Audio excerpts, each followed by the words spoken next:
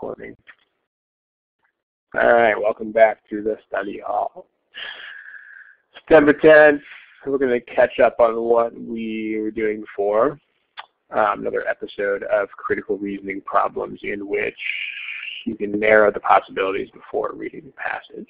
So if you remember what this was all about from last time, if you were here last time, you probably remember. If not, the, the basic deal is that in a lot of critical reasoning problems, just by reading the the conclusion of the argument, you can have a very specific, very narrow sense of what is relevant.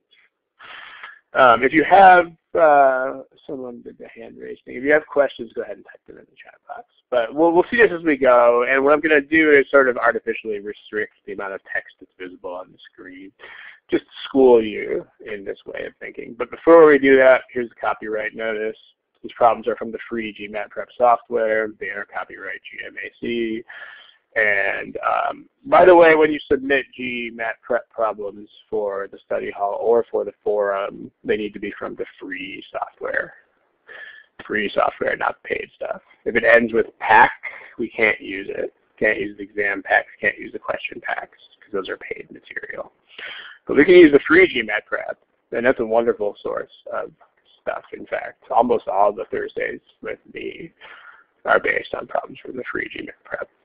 Okay, so let's take a look at a small fraction of a problem. Here you go. Okay. Now, let me show you, let me tell you what you have here and what you don't have here. Okay, what you obviously don't have here is a full problem. This is not an entire problem. You know that because there's missing things. What you do have is the prompt. Remember the prompt is the thing that you always want to read first in critical reasoning. So you have that, which, you know, the task actually tells you what you're supposed to do. This should always be the thing that you read first. Okay, but then other than that, all I've given you is the conclusion, the argument, just that. I haven't even given you the rest of it. Other words, what we're experimenting with here, and we did do this last time as well, well what I want you to do, and we're going to use the chat box for this, what you should do here is note, note the task that you're being asked to do. And in this case, you have to weaken an argument. And then examine the conclusion. And then try to narrow down what's relevant here. And then if you have an idea of that, like what are some, as specifically as possible, what are some ways in which you might weaken this argument? And then go ahead and put those in the chat box. And see what kind of ideas come out of this. As specifically as possible. What are some ways in which you might weaken this argument? Give you a bit of time to do that.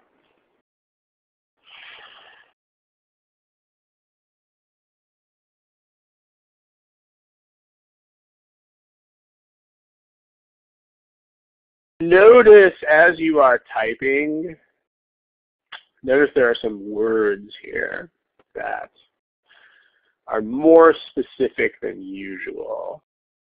And you should pay attention to that. Because that right there is, is more specific than just saying weaken. or weigh against or something like half doubt. Think about that for a sec.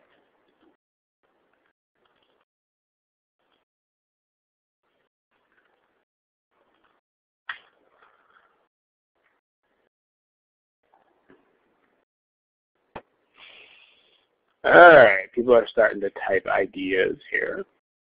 This is where it gets interesting.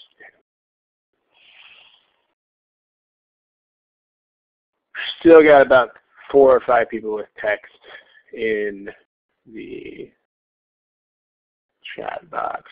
So let's see what people are typing. It is mercenary cost.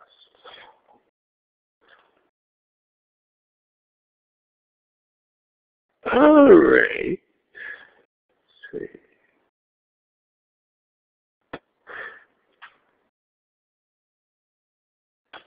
In the meantime, let's go ahead and start putting some of these on the board. If you're still typing, you might have to try to multitask here and try to follow what we're saying while you're still typing the end of you're typing. But there's only a couple of people still typing now. So I think we've passed that sort of equilibrium here. In any case, here, so first let's address things like this. Um, other alternatives that cost less than $12,500. Well, so does anybody see what the issue is with this, with this thing that I just put up there? What's the matter with that? Yeah, no, that's the wrong way, right? That's actually going to make this argument an even better argument than it is. Because what we're saying, like basically what this conclusion says is, I mean, it, it's not going to be a non sequitur argument. Like it's not going to have things that don't follow from other things. So even though you haven't seen the original sentences yet, you know that this is a purely cost-based argument.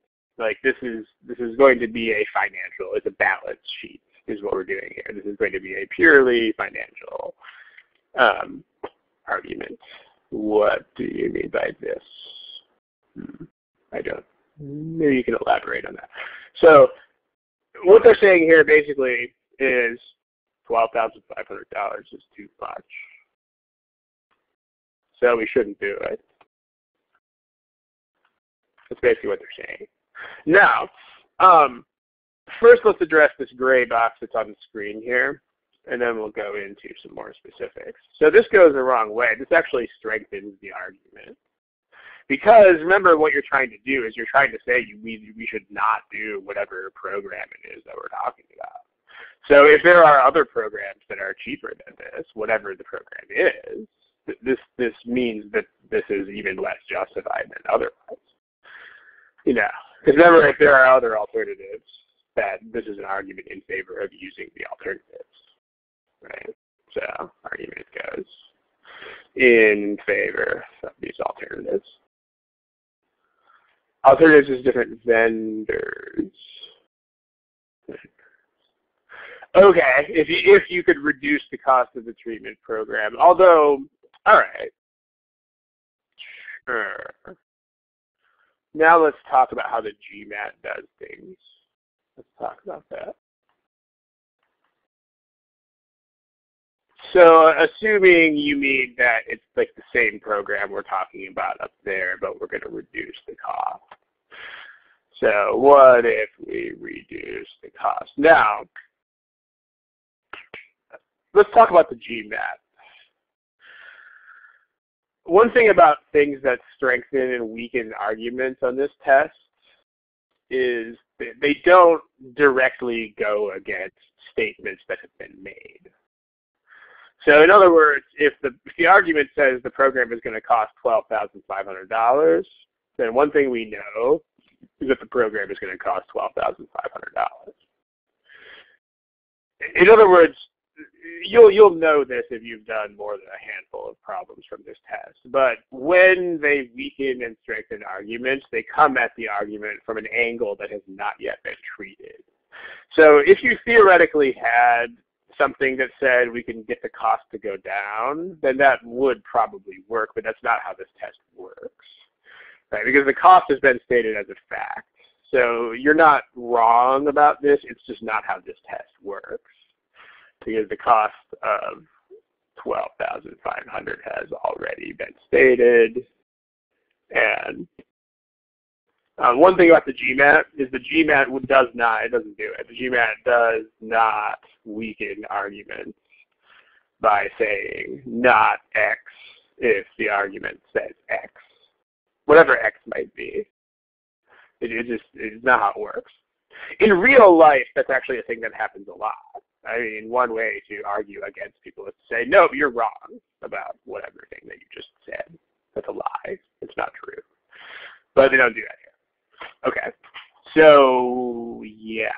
Now, now let's talk about this. Let's talk about a bunch of people typed some equivalent of this. Okay, what I'm going to do is I'm going to give you where the multiple choice answers are located. I'm going to give you green checks and red X's for a second. Um, if this is your first time to this, this is your first time using this program, that's where they are. Underneath your name, you're going to see a check mark thingy. What I want to do is, let's get a vote here. Give me a green check if you think you could weaken the argument this way. Give me a red X if you think that is a big pile of nope. What do you think? By bringing in non-cost factors, do you think you could weaken the argument that way?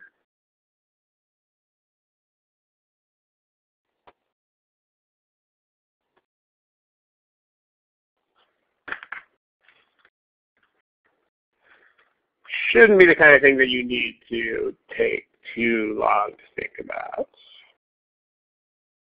I mean, you've been thinking about this problem for a while. So, almost exact even split. Wow. Yeah, we got like, we got almost half and half. Although most people are still not voting. Okay. All right, well, let's move on here. Of people who have voted, we have eight green checks and we have eight X marks. So that is pretty much exactly even. You know what? Nope, can't do it. At least not the way this problem is written. Not the way they wrote this problem. Now let's talk about what I wrote in green upstairs, because that is a thing. Let's talk about it. Let's talk about what that means. This, this stuff. See, because, okay, when they give you prompts that have lots of words in them, they're giving you the lots of words for a reason. I mean, if this just meant weekend, they would just say weaken. Because one thing that they, I mean, one one misconception that a lot of people have about this test is that they're trying to be tricky with words if you've watched more than a handful of my sessions, you you have heard me give this whole thing, this whole spiel over and over and over again. But no, they're not tricky. I mean, they really try to write these problems efficiently and with as few words as possible, or at least darn close to that. And I mean, they still wind up looking wordy sometimes, only because to be precise, you usually have to be pretty wordy. But if they take the word weaken out and put this in, they're doing it for a reason. Can anybody tell me what the reason is? Like, what's the difference between weigh against an argument or cast doubt on it or whatever and actually undermines the conclusion of it? What's the difference?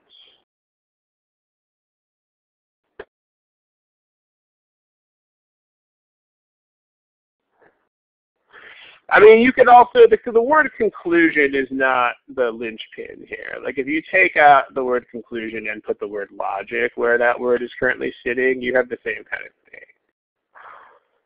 Um, let's talk about, let's, let's erase some of the graffiti on the screen here. And let's talk about this. Let's talk about other factors.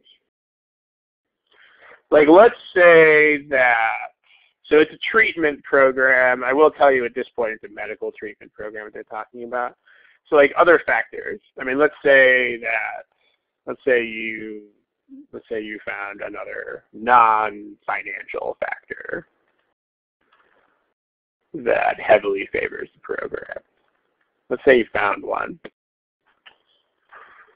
Here's the deal. I mean, would this weigh against what the person is saying, that, that person up there who's talking and giving you that argument. Yeah, sure it would. But, but, but, does, does it actually undermine the logic of what that person is saying. No, it doesn't. Because the thing is, like, if you're bringing in non-financial considerations, that means that this argument is every bit as logical as it was. I mean, you you might have some other reasons to argue against it, but it, it you're not arguing against their logic. Whereas if you bring in other financial considerations, then you are. So this is the difference. Like if you actually have to undermine the logic or the conclusion or anything like that of the argument, like if you actually have to undermine the way the argument works, this means that you have to bring in something that is in the same, you know, the same type of thoughts that the person is talking about. So if the person is talking about financial stuff, then you need to bring in more financial stuff. Whereas if it was just weigh against this, blah, blah, blah, blah, blah, then maybe not. So in order to do this, you have to give a financial counter argument. You have to do it. Because it's not good enough to just be on the other side. You actually have to show that this person's argument does not work. Smiley face if that makes sense. And if you see why they are using the extra words in the, the question prompt here. Okay, so in other words, your counter argument has to also be a balance sheet item has to be financial. So now here is the question in all its full glory. Again, make sure you know where the multiple choice answers are found. Uh, they are underneath your name where you had those green checks and red X's before. There they are. Um, please do not indicate your multiple choice answer in the chat box. Give it a shot.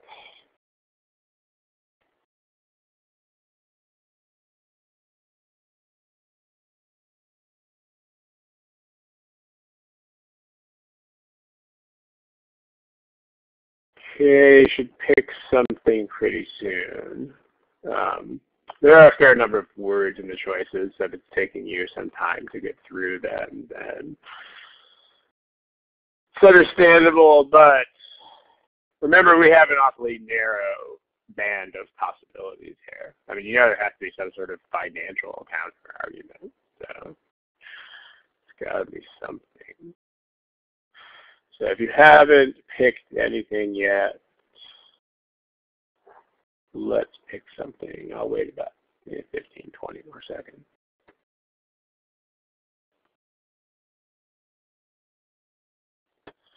Okay, um, here's what you guys pick. I don't normally show the whole class profile on here, but but it's sort of interesting. Um, these these these three, I guess there's four of them now. These B and D are actually, those were not there at all until the last like 10 seconds or something. So I think those might just be guesses. But notice that there are a lot of people picking C and there are a lot of people picking E. Um, and remember what we talked about in the last slide. I mean, just from reading what you have to do and reading how they hem in the argument. I mean, this is a cost-only argument. So this means you have to give some sort of balance sheet item. So anything that is not a cost-related item is just, it's not a thing. And it's, it's actually even, even more narrow than a lot of these things. Because if you're talking about a business operation, you might have revenues and also costs. But this is just costs. And there's no revenue for, you know, falling down and getting injured. So it's really just straight up cost versus other costs. So it's got to be cost items cost items are the only things that are relevant. Everything else is irrelevant. So, this, so no one picked A, so you guys know it's not a thing. Um, this is not a cost item. Nope, it's not. Neither is this. And I mean, also the frequently of the frequency of falls doesn't really do anything here anyway, because these numbers are both per incident. Like for each fall, it's eleven thousand dollars in the emergency room, and it's twelve thousand five hundred dollars in this program. That's per fall, so it doesn't matter how often or how not often people fall, because you can still compare the numbers. So we've got C and E. Um, Yeah, so one of these goes the right way, and one of them goes the opposite of the right way. And this is why you should personalize the argument. Make sure that, I mean, if you can actually picture having a sort of spirited dispute with someone about this, then you will do much better on these problems. But make sure that you personalize them. Like you need to argue against this other person. Okay, this, this, this person up here. Let's give him a name, her, him. Let's say that he is named Matt. I think we all know someone whose name is Matt. You need to say that Matt is wrong. You need to be like, Matt, you're stupid. But which what what side is Matt on? Does Matt like the new program or does he not like the new program?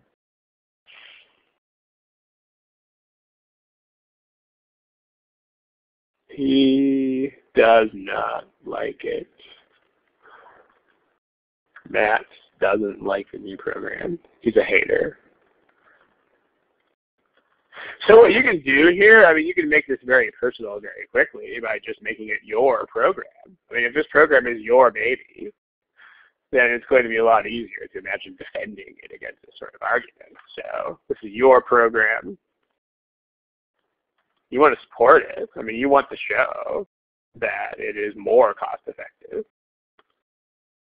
not less. So I'm looking at all you guys who picked E right now. Because look at what E does.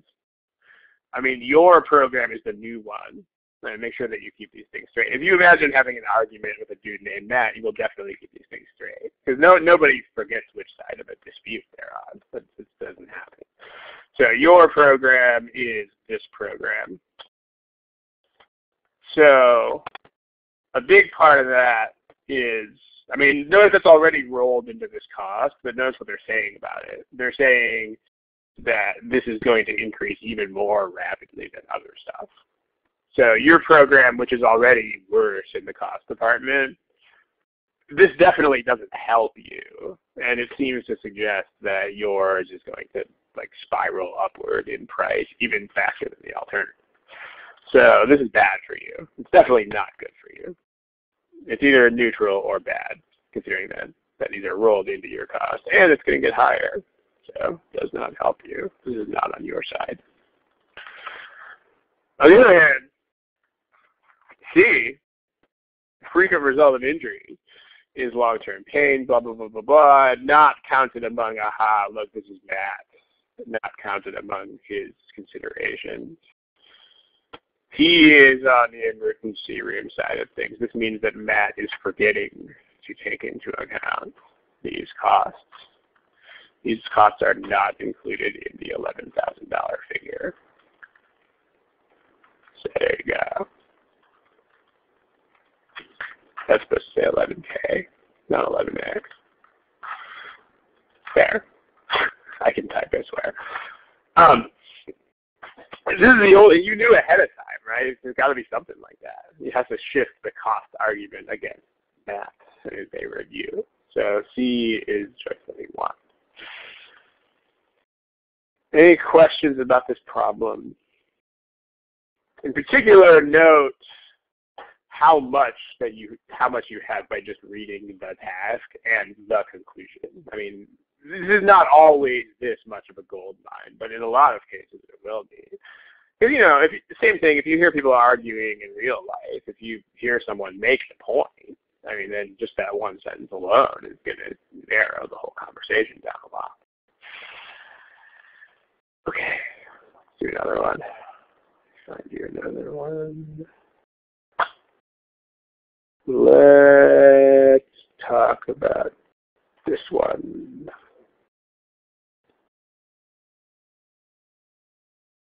So here's what I want you to do. You don't have the answer choices. But again, read the task. Then read the proposal, which is the sentence I gave you. And then what is or are the only type or types of things that could be. It could do what you want.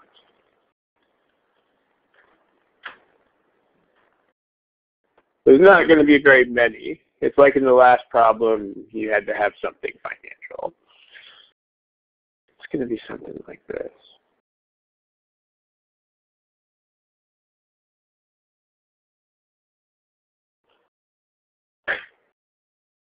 Chat box, once you have some ideas. the only kinds of things that could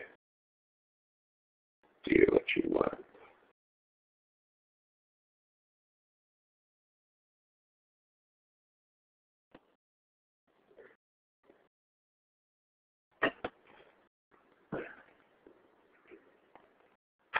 Couple of you guys are being sort of vague. Like when you say monitoring catfish behavior, you got to tell me more than that. I mean, that is what they're doing. Um, same thing with something about catfish. What is the what what kind of something? Yeah. Okay. Um, let's talk about a couple of these.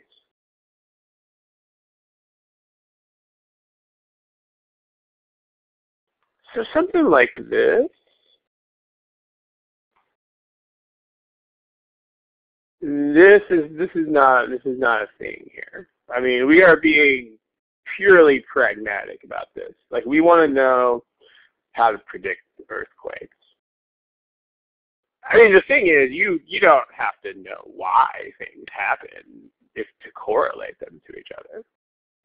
You know, I mean, think about think about all those sayings that sailors had about weather for centuries and centuries and centuries. You know, about like red skies in the morning, sailors take warning. Red skies at night, sailors delight.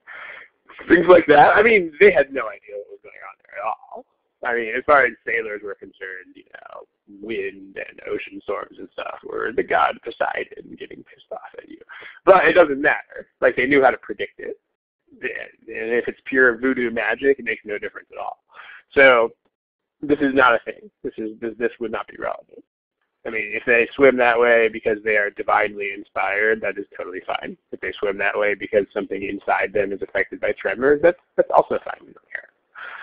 So it doesn't matter. Could be voodoo, could be science. I don't know. As long as the correlation works, we don't care why it works. Because at the end of the day, all that matters is whether we can predict earthquakes or not. Okay. Now, um, let's see. So remember, as far as this one goes, this falls under the same warning of this is not how the GMAT works. Because, again, if we use our letter abbreviation, this is X. And this is like, well, maybe not X, is what you're saying here. I mean, in the real world, that would be a consideration to raise. Like, if your proposal is to go do X thing, then, then yeah, we definitely need a feasibility study. On the other hand, this is not how this test works. Remember, the test will not weaken X by, by raising the issue of not X. That's one thing that you definitely know they will not do. So you can you can rest assured of that. So, um, well, maybe not X, the GMAT. So you this would be valid this this is valid logic on your part. But the test doesn't work that way. Okay. All right, let's see what else people are saying. Um, radically dangerous. Well, yeah, dangerous earthquakes. I mean, earthquakes are kind of dangerous, right? So, um, although it's true that you, there could be something here. You know, this is like all earthquakes, and this is like just the dangerous one. Uh, you might want to think about that. Like what if they swim erratically before? You know, I mean, I don't know if you guys know this if you don't live in earthquake country, but I mean, in here in Tokyo and also in LA and stuff, there's like little bitty earthquakes every single day. So that that. Aha! Now we're talking. Ah, we're talking. Let's throw these up there. Here are three very nice phrasings. Let's put them up there. There's one. There's another one. Same idea three times. I like all three, so I'm just going to put them up there. Because I mean, again, they're, they're not going to go the not X route. Okay, so they do swim erratically before earthquakes. This is a thing. It happens. I mean, that's gonna, that's a fact. So you're not going to dispute that. And then also, if the proposal is to monitor catfish, then we know that monitoring catfish is a thing that we can do because they're not going to propose X if X is not possible. But, but, but, this is, this is, you know, this is only one situation where they do this. Like, um, one, it's also, it's up there in the chat box now, but someone gave a specific example of like, what if it's cold? Yeah, I mean, something like that. Yeah. Because this is just one thing that, that makes them get all weird. Uh, but what if the same thing results from other things? Because you know, because you know this is a thing. They do. There is definitely a correlation between erratic swimming and earthquake. But, but, but the deal is, what if some other factor? So this correlation exists. You can't argue against it because the fact is a fact is a fact. This correlation does exist. It does the thing.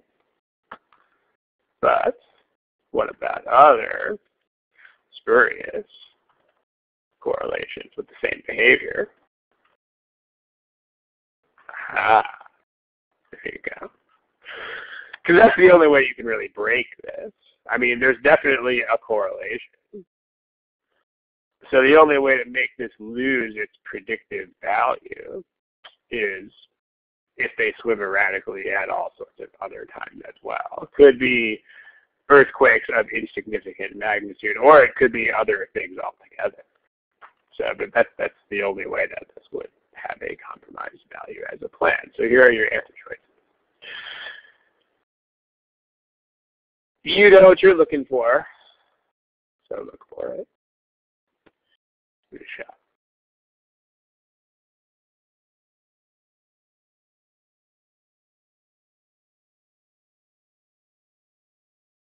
All right, let's try to pick an answer pretty soon. Um, almost everybody who's answered so far has it, but I'm I'm actually more concerned with the last few people because those are usually the people who are benefiting most from this discussion or who can stand to benefit from it the most. So if you don't have an answer, you should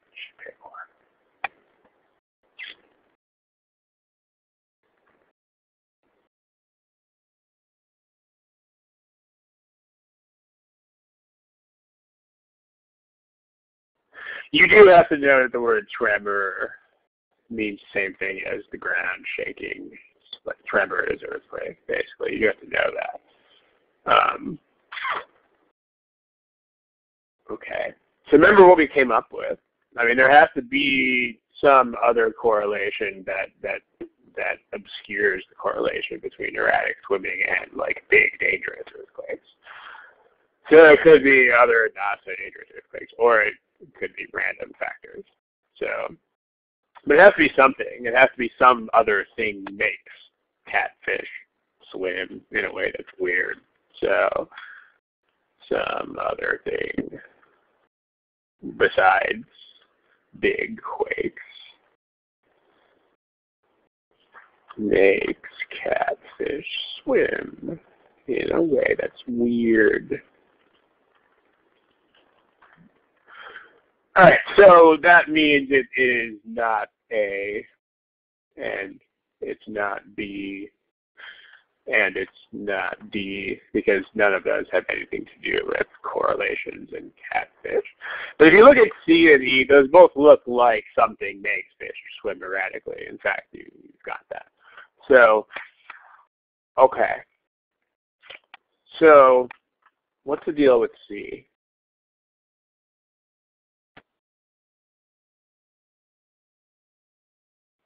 Does C give you an alternate thing that could cause them to swim weird?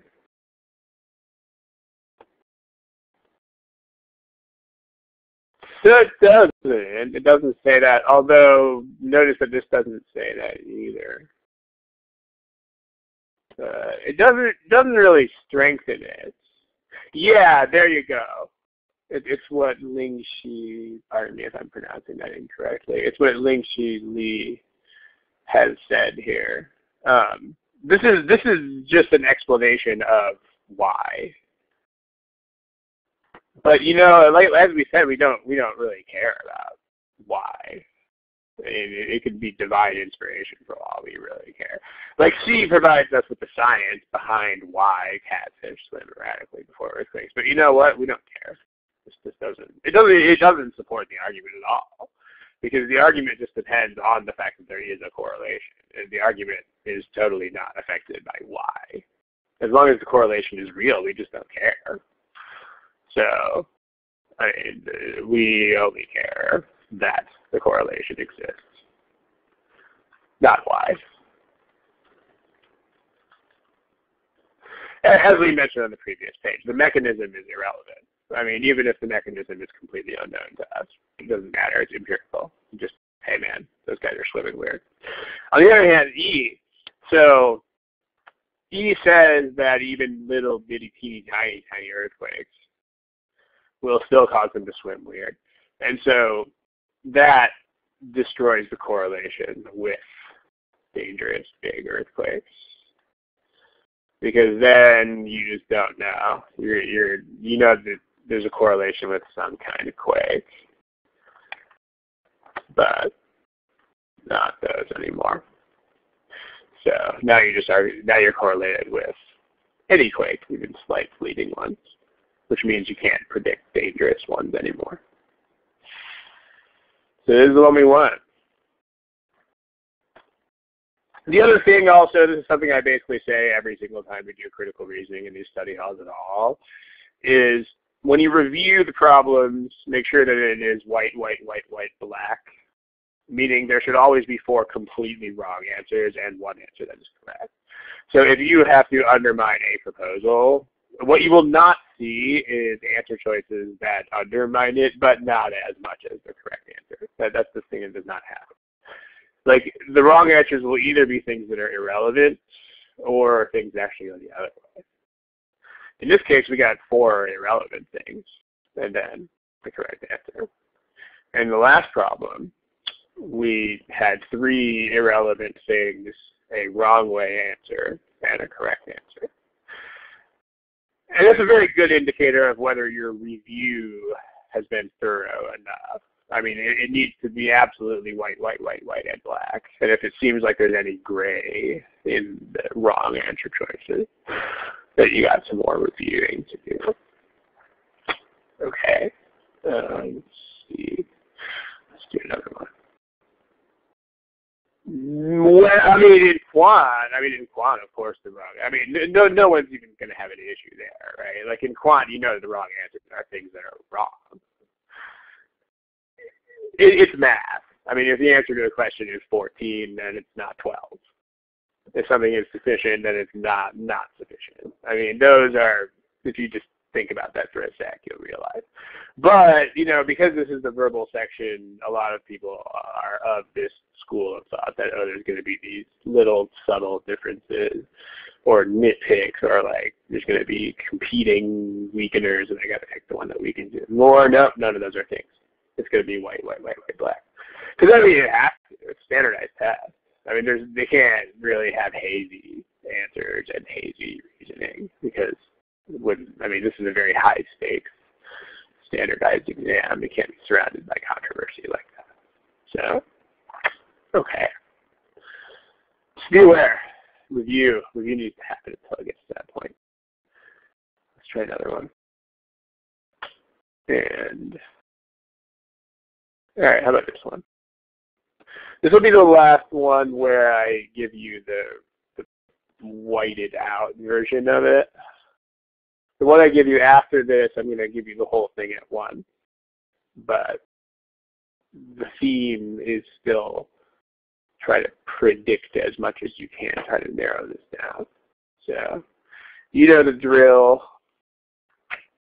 Here's the task. Chat box time.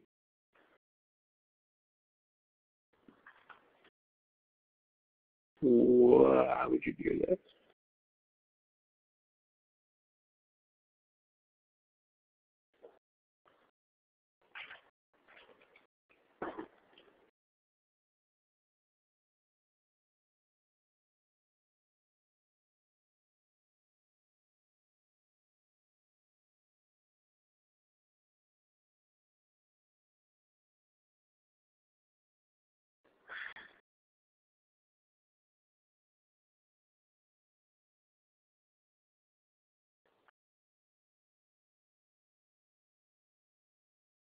Okay, a couple of people are typing this. Um, so make sure you know what that is. I mean, this is not what an answer choice is going to look like. Um, what this is, this is, let's say it's Matt again. I mean, Matt is saying that exports are going to go down, at least of these particular types of goods that we're talking about. So this is, this is ultimately his point.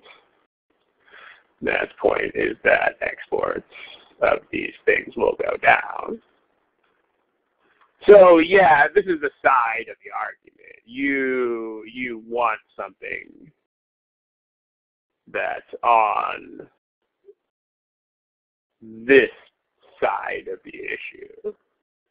But just make sure that you guys know that the correct answer is not going to say this. I mean, the correct answer is going to be a reason to make you think this, but it's not going to directly say that. So smiley face if that makes sense, if you guys are all crystal clear on that. Like this is your side of the issue, but it's not what, what the weakener is going to say. Because it's, it's more of the X and not X thing again, right? Matt says X. You're not going to weaken it by saying actually not X. So it's going to be, this is going to be suggested by something, but it's going to be, nah, nah, they're just not going to come out and say that.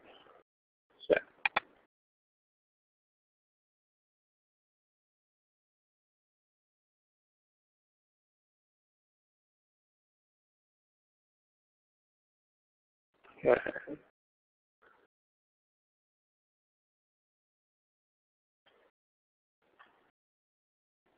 So let's start putting these up there and talking about them. Is this the right side of the argument? Someone says perhaps they're going to go down for some other reason. So remember, there's you and there's Matt. I mean, if you if you gave me this, it means you don't have a you and a Matt in your head. You really got to have that. I mean, there there's the argument is will exports go up or go down? So if you have this, you're still saying they're going to go down. So this is still on Matt's side. That's not what you want. I mean, you want to show that his whole thing is bunk and that he's wrong about this. So, in fact, there's other things diminishing that helps him. So, okay. All right. So let's see. It's going to have to be a new piece of information. That's true. So let's let's pull a couple of these. And this. Okay, I like these three. There's one. Uh, that didn't that didn't work. Here. I like these two. Three of them. There you go. Yeah, okay. So you know they're going to present you with some sort of evidence that exports of something are going to go down. And also, Um, let me pull up one more because there there are actually there's not a lot of patterns in critical reasoning, but this is one pattern that really is an actual pattern. Is they they look at one aspect of something and then they make a conclusion about whoa the entire market, right? So yeah, this is something they do a lot. So you can anticipate. You know, Matt probably isn't thinking about the entire export market. So, and then you can read what Matt says with this already in your head. Um, let me give you a um, let me give you an OG reference for the same type of thing. Um, if I by telling you that it's this kind of problem, I'm, I'm sort of giving away what how the argument works. But this is check out when you have a moment. Don't do it right now. But if you have OG 13, their 2015 edition, Critical Reasoning number 72, it's the same sort of thing. It's like the speaker is only considering one part of some vast market with lots of aspects. Something has lots of aspects, and speaker is only considering one of them. So that this, is a thing. I mean, same thing actually with that cost argument about um, where was it? This thing is right here. Same sort of thing. I mean, you had it, this time it wasn't one specific thing, but it was the same sort of deal with Matt is not thinking about all of the costs. It's just the emergency treatment, okay, but what about things that follow therefrom? There. Same sort of thing with this. All right. Because whatever Matt's saying is probably stuff. I mean, certain, whatever exports Matt is thinking about probably will go down. But then you need to be thinking about other exports. So yeah, this is what you should anticipate. There's going to be some other source of exports. By the way, when uh, when you wrote import, Amy, I think you mean export, right? Let's assume that you mean export there. Um, because that's the logic, right? So anticipate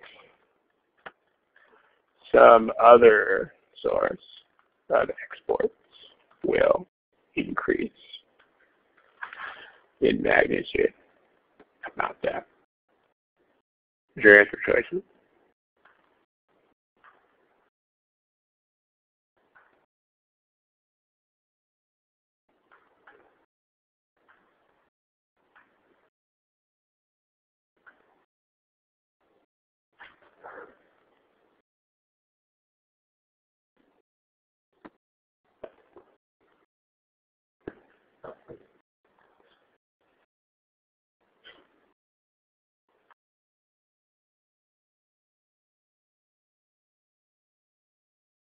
Okay. Most of you guys. I mean, the other thing is this. When you go through the answer choices, when you have a prediction, you should look for it. That probably doesn't sound like genius. What I mean is you should not let the answer choices erase what is in your head and put you on a whole new path, which people do. They're like, whoa, I totally forgot about this prediction that I made. Because some of you guys are picking choices that have absolutely nothing to do with exports. And that, that especially if you have this, this is what's going to happen. Because I mean, the deal is the worst case scenario here. If you personalize the argument and you know what it says, and you understand what the issues are, the worst case scenario would be that you predict something that isn't in the choices. Because in a lot of cases, there are multiple ways to weaken your strength and stuff. But that's basically the worst case. I mean, you're, you're not going to predict something that's one of the wrong answers unless you fundamentally misunderstand the argument. So in other words, here we have this, we have a prediction Like we have prediction, the thing. So we should hang on to it. In, in other words, the arrow should go in this direction. It should not go the other direction. You should not read a choice and then go back to this and think about whether uh, you have this in mind already. This is a criterion, and you have it in your head, and you want to see whether the choices measure up against it. That's the whole point of this. The whole point of this is that you should evaluate the choices. This is a standard. This is a standard by which to judge the answer choices. And the other thing that's going to do is it's going to make this a lot faster. It's going to be way more efficient. Because when you go through, you can just barrel through these things, and if there's no connection to other sources of exports, you can ignore that answer because it's, it's not going to argue against Matt. So as opposed to having to go through all of these. And I mean, yeah, assuming its prediction is correct, but again, as we said, worst case scenario would be that you predict something that's not there. And then if it's not there, then you can think about what how the choices work and how they affect it. But in a lot of these cases, there's really only going to be one way to do this. I mean, it's not every single time, but these, these are these are pretty precise arguments in a lot of cases lots and lots of them actually, because because they have to. I mean, that's how they make the problems. That that's how they make them so that there are distinctly wrong and right answers. They have made the argument in a lot of ways. But try it. I mean, at the end of the day, it's same advice that applies to just about everything, which is just throw it at the wall and see if it sticks. Just see if it works for you. If it works for you, do it. If it doesn't work for you, don't do it. But at least try it first. I mean, and give it some time because if it's out of your comfort zone to do this, then it will take longer at first. Like if you're not used to formulating these thoughts as you read this, then there's going to be some getting used to it. So don't try it like two or three times and then reject it. Like try it for long enough to at least feel it out. Yeah, other source of exports. So look at what we got here with choice A. New, new stuff. I, I mean, I don't even care what kind of new stuff it is. It's new equipment for which strong worldwide demands. And this is new stuff, so your country is the one that's producing it first because they developed it. This is new exports. Oh yeah. That's what we want. There you go. Still take a whiz through the other choices here just real quickly. Um, this is fines for non-compliance. That has nothing to do with how much stuff we are exporting. Savings, is still, it's not a cost argument. It's just an export argument. And this does not affect the import-export sheet. This is also, this has nothing to do with exporting stuff and neither is that. None of these have anything to do with exporting stuff. So we've got black, white, white, white, white. More exports, nothing to do with exports, nothing to do with exports, nothing to do with exports, nothing to do with exports. How about that? if you do spend time formulating this kind of stuff, which is the complaint that a lot of people are going to have, I think that's going to take so long. However much time you spend doing that, you will definitely make it up many fold when you get to the choices because you will be able to go through the choices much more quickly. Okay. Um, see. So, how so? I mean, remember that it's not like your country's overall trade deficit that we're talking about. It's not it's not exports minus other costs, and it's not exports minus imports. It is just annual exports of manufactured goods. So you know you don't even have to think about which way this goes because it doesn't doesn't affect that. I mean, this is just going to affect somebody's balance sheet inside the country, which has not anything to do with how much stuff you are sending out of the country. Um, see, what is it? levels of pollutants. And you don't need the equipment. Um, let's see. Well, let's see. First of all, this is not exports. So if you have the standard, you don't you don't even have to think about this. But also, the other thing that makes this D is sort of double irrelevant, if you will. It's irrelevant already because it has nothing to do with the amount of stuff that we're going to export. Because you're, you're thinking about costs, but you're still thinking about internal costs, like of doing stuff domestically inside the country. Like you're, you're not you're not thinking about exporting stuff. But also there's this. I mean, this is this is another irrelevance because the I mean this country is calling for reductions. I mean, they might be fine by the standards of, of the world, but their government is saying, you know what, we need to be better than that. So they're calling for reductions that are going to be way below international standards. But they're still doing it.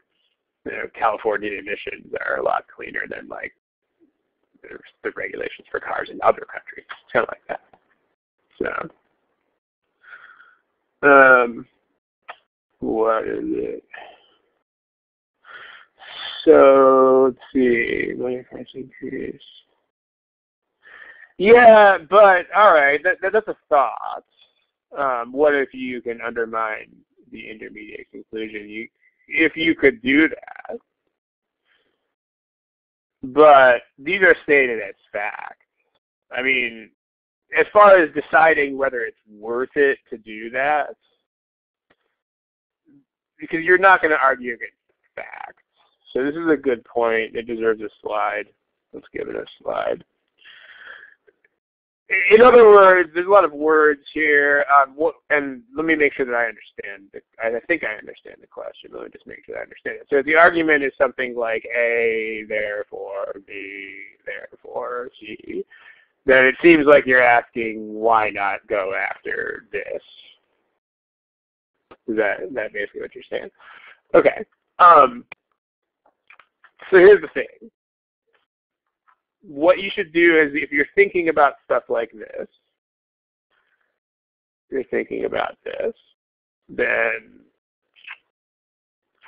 first of all, examine the argument carefully with an eye to facts versus claims. And if anything is presented as a fact, it's not going to be argued against because it's fact. Again, this is the only place where this diverges from real life because in real life, I mean, that's a very common type of counter argument. Actually, no, you're wrong about that, dude. But that doesn't happen here.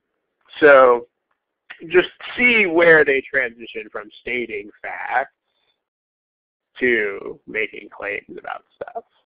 So if you look at this, um, how much of this is fact? Well, this is a fact.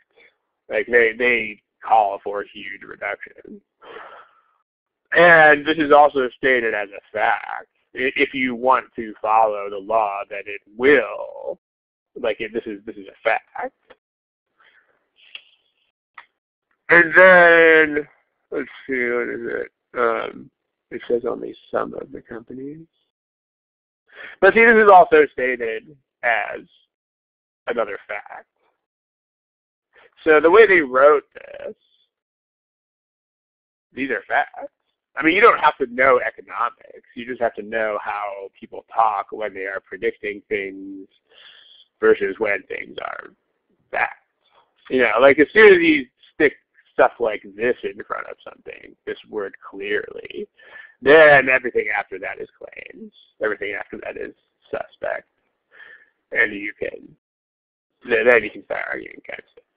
You know, because if you stick clearly in front of anything, just try that, right? Ron is 40 years old, period, fact. Clearly, Ron is 40 years old. That means someone's looking at my picture and guessing. Or like looking at, you know, talking to people I went to high school with or something like that. So, in this case, you're not going to argue against these guys because because they are fact. But if there are claim, therefore other claim, therefore other claim, then sure, any, any step of that ladder could theoretically be the weak step. So, yeah. Um, yeah, I mean, don't just memorize that. Just think about how people talk. Like, think about when you put words like must be, or clearly, or obviously, or has to, or you don't put those things in front of facts. You just facts are just facts. You know, and again, just think about those kinds of statements side by side. You know, this person is over six feet tall versus this person must be over six feet tall.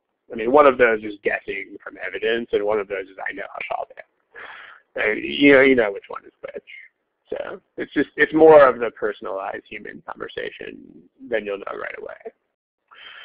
As always, conversation is your friend. Okay. Um, as far as, as his last question, um, let me address this. So let me give you a stupid analogy because you know I like this. All right, here. Do you still read choices beanie? So uh, again, let me let me phrase what I understand to be the question here.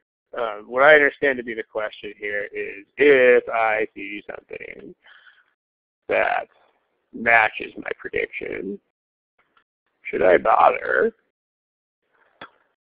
going through the other choices? Okay, so this is a self-awareness thing. I mean, if you, if the answer choices tend to send you down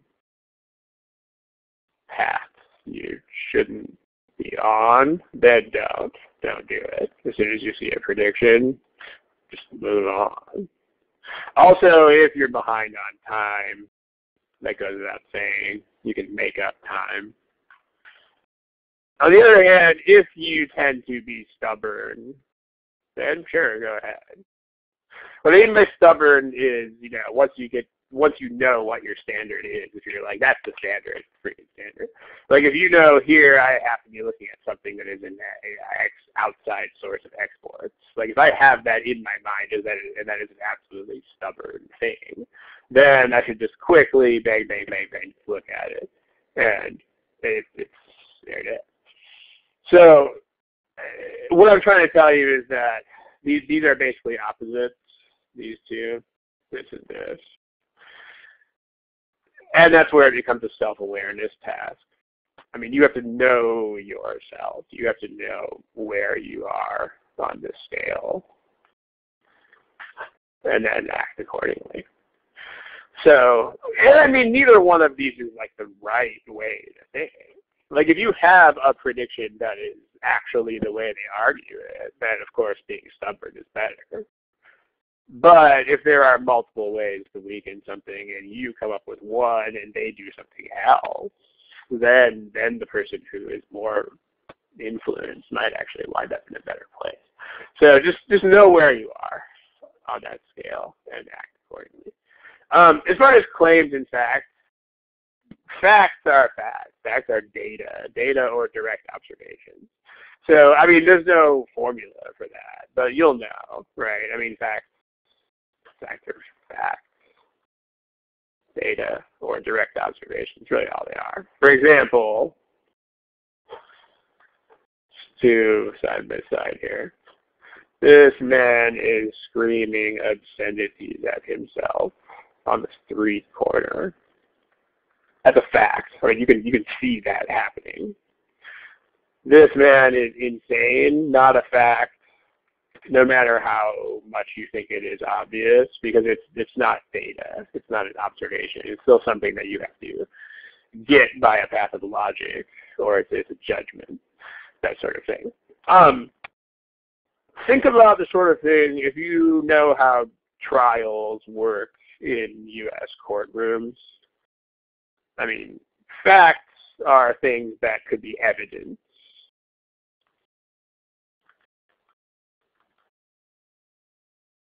and that should really, I mean, if you're still confused on the difference, because you probably, I mean, this should be really clear. Like this could be evidence of something, right? If you, if a court wanted to establish that some person was psychologically out of their mind or something. Like this could be admitted as evidence. I mean, you could say this in a courtroom as a piece of evidence. This, of course, you could not, because it's not evidence. So, there, fact, not fact. It's that kind of difference. You'll you'll know see it. All right, let's let's look at one more. That'd be eh, what in the world? I didn't really do that.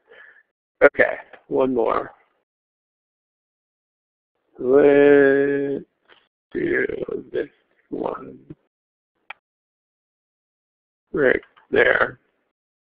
This time you get all the choices.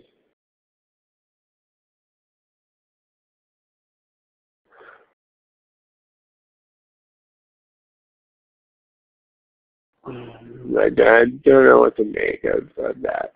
That's in the chat box. I mean, some some premises will be factual. Others might be claims. I mean, some of them have to be facts. You can have an argument that's based on nothing but claims. But you'll you'll know it. You'll know when you see it. If you make a conversation out of it, then you'll know when someone goes from stating facts to guessing things.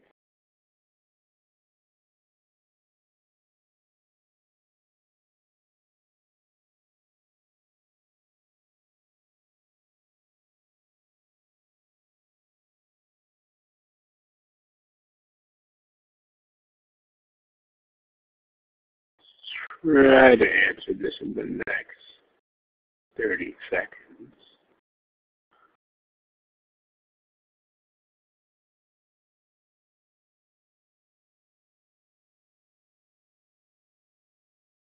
Okay, let's start talking about this. First thing right off the top is that you do not care about the boldface statement at all.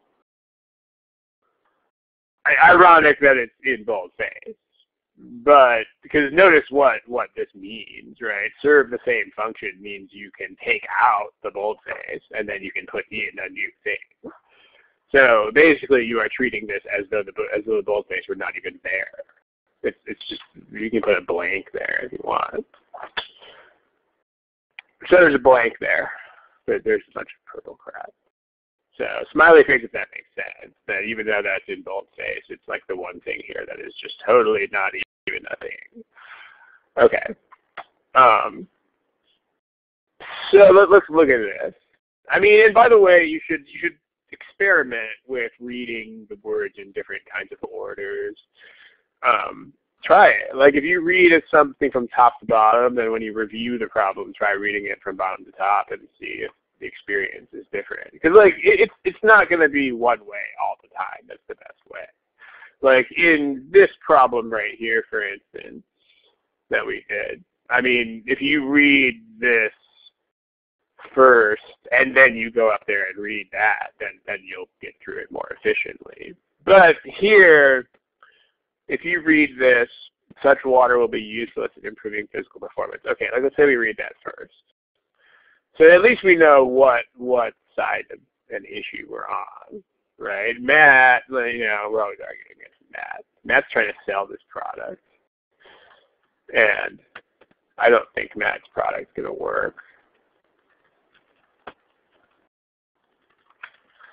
Okay, but now we, I mean, what is the product and how does it work? So that's where we start reading from the top here.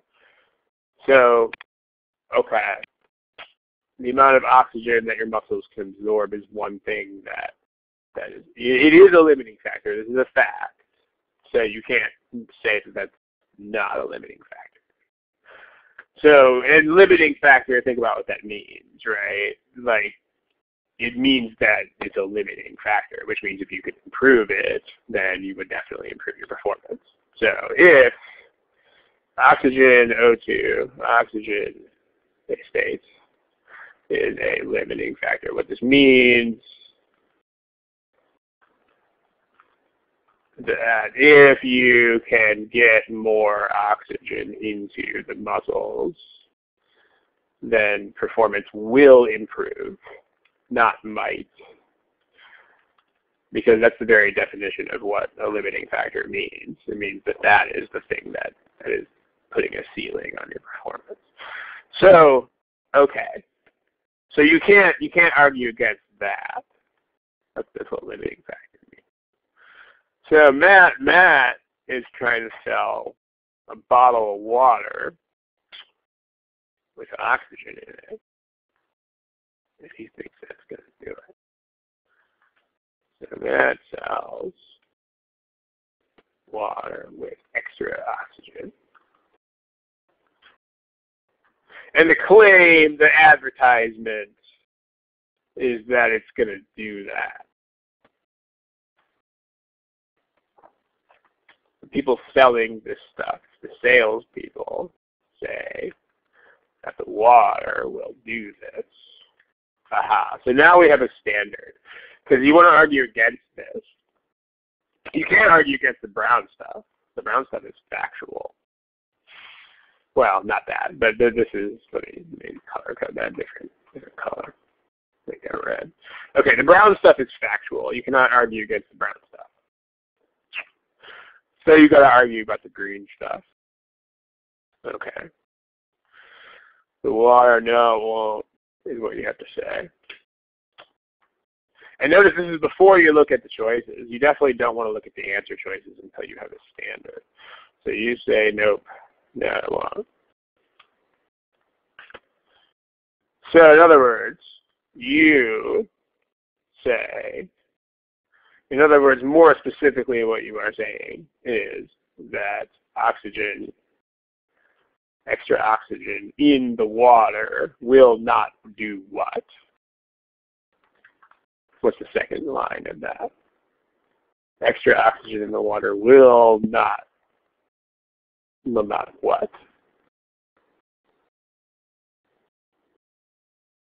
More directly, though. I mean, that's ultimately where you're going with it, but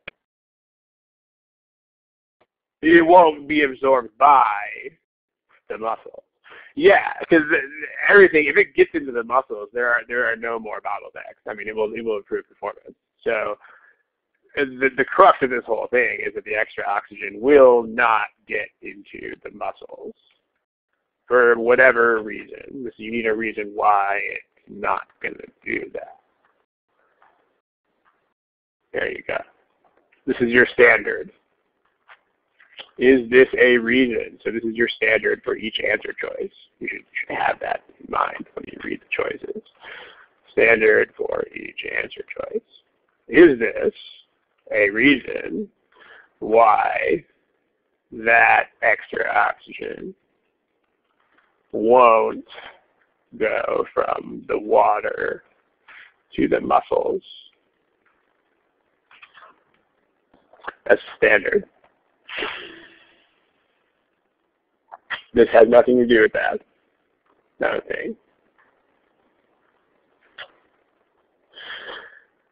This, does this have anything to do with transporting oxygen from water to muscles? No, it doesn't. I mean, this says that your oxygen capacity might go up, but as far as how your body takes in the oxygen, this doesn't help us understand that. I mean, your performance would get better, theoretically, if you could get more of it in your muscles, but this doesn't weigh in either way of how that works. It's a moving target, in other words, but it doesn't tell you whether you're going to hit it. This. Notice this word. This is a word that means things. What does that mean?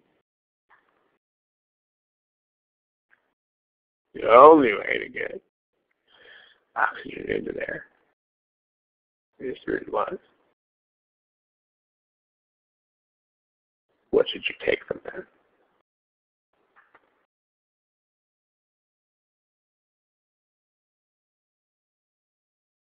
It is a fact. Yeah, because like these answer choices are they're going to be facts. I mean, four of them will be facts that are either irrelevant or go the wrong way. But one of them. I mean, so yeah, they will be factual. Like they're not going to give you random claims, but only, only means. What about other ways? Yeah, it eliminates every single other option. I like the way you wrote that. Gonna put that on the board. Um, yeah, only is a big word. I mean, only makes the choice very strong, which could be good or bad. Here, it's a good thing because it eliminates every other option. And you know, you don't drink water in your lungs. I mean, if you do, that's called drowning. So, if the lungs are the only way to get it, then that means it's not it, it's not going to go from the water because you do not breathe water in through your lungs unless you're drowning. So this is the answer we want. If we look at the other ones, I mean, D just says that there are other factors. Okay, great. I mean, I'm sure there are. I mean, there are lots of other factors. This is just common sense. But if you can improve that, you can still improve that. I mean, if there are other factors, great. We're not worried about them. This is, this is not a thing. And then E, remember water loss. So dehydration is not the point here. The point is oxygen, not water. So this is outside of the boundaries of what we care about. So we have white, white, black, white, white, irrelevant, irrelevant, right answer, irrelevant, irrelevant. There you go. But notice again, the work is up front. And no matter how you do it, no matter what order you read stuff in, the work in critical reasoning should definitely be up front. I mean, you should have a standard no matter what kind of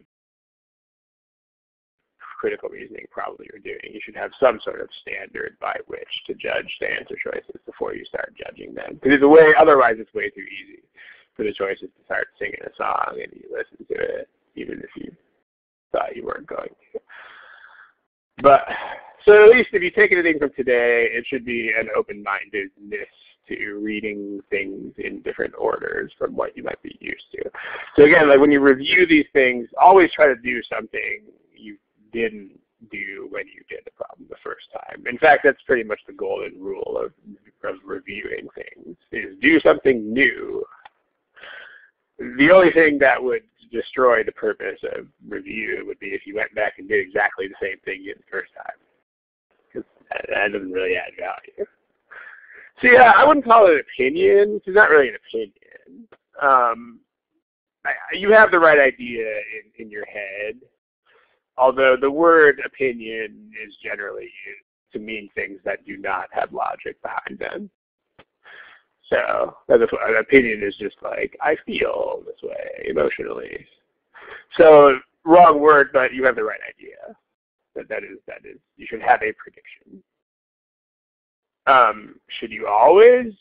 Nah, not in most cases. In most most bold-faced problems are what is the role played by these statements. And if you have that, then of course you can't cross those out.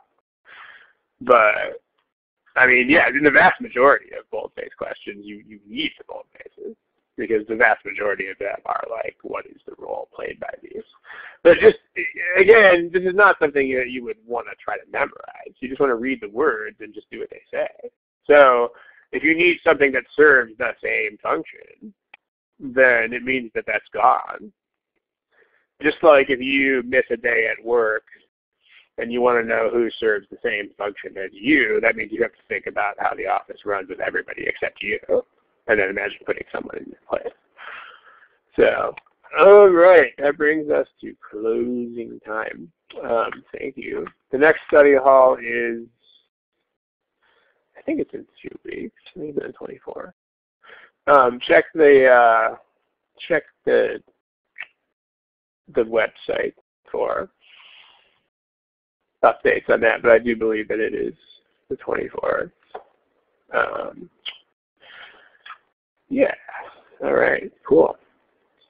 Thank you very much. Let's kill the recording. And yeah, the times are going to be there. There might be some bouncing around of the times. That might be a thing that happens. Uh, I think the next few are going to be back at the old time of what, 4 p.m. Pacific, 7 p.m.